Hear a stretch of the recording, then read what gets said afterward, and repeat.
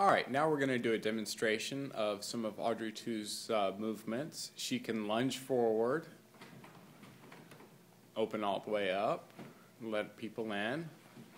There you go. Uh, she can move side to side whenever she needs to dance around a little bit. She can move left, move right. And she can uh, thrust in those directions too.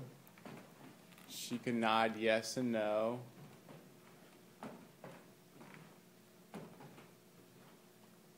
And uh, she, as you can see, she's just she's pretty uh, pretty movable, pretty mobile. She can uh, do quite a bit.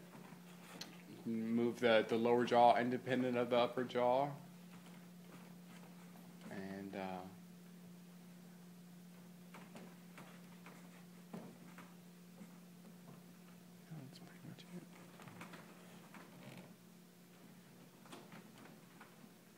move left and right and all the way open again.